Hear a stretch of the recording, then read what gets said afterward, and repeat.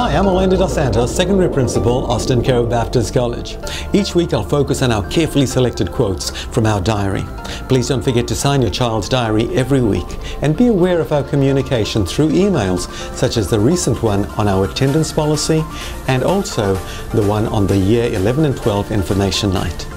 Benjamin Franklin is one of my heroes. I don't believe that I would be speaking to you today if I hadn't followed his example many years ago to identify my values and to align my daily activities in line with those values. Our school affirmation and core values of courage, persistence, and respect are how we carry out our daily activities at Austin Cove Baptist College. We need to know who we are, what makes us tick, what we should do and how we should act in line with those values. One of the reasons that we focus so much on the character of our students is because we have clearly identified our values, how we should act, and what should our character look like.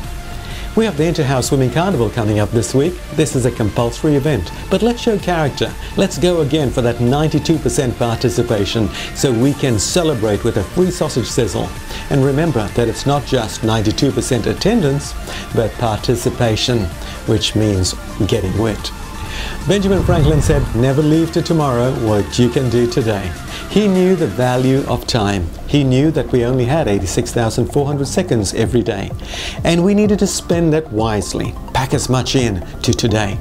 Procrastination is a killer.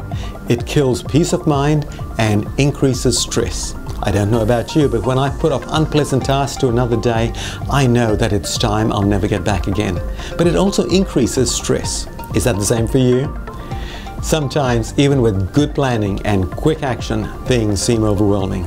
That's why I like what the Bible says. God is our refuge and our strength, and ever-present help in times of trouble. Therefore, we will not fear. We will make decisions we will not fear. God bless you. Here's what's coming up.